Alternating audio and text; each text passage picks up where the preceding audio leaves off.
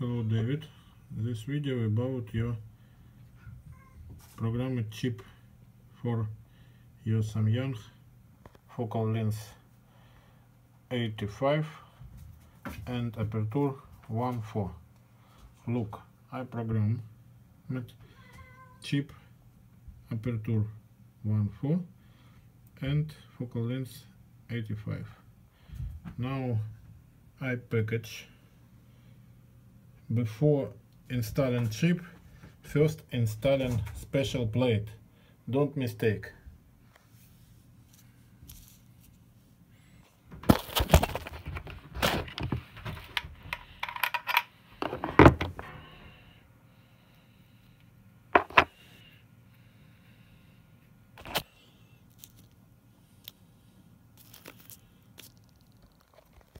Look this is your chip and special plate.